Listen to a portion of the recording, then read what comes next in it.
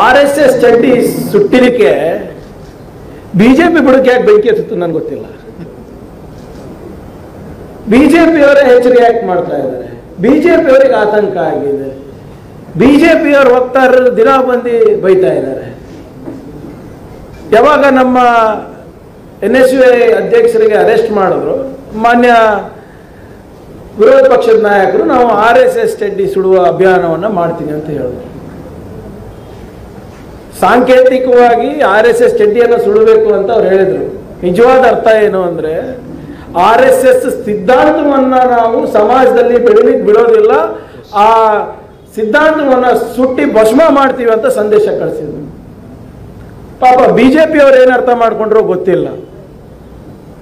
ಊರು ಹೋಗಿ ಬಳಸಿರೋ ಚಡ್ಡಿ ಎಲ್ಲ ಕಲೆಕ್ಟ್ ಮಾಡೋ ಒಂದು ಅಭಿಯಾನ ಮಾಡಿಬಿಟ್ರು ಅವರು. ಆರ್ ಎಸ್ ಎಸ್ ತತ್ವ ಅಂದ್ರೆ ಅವರಿಗೆ ಗೊತ್ತಿಲ್ಲ.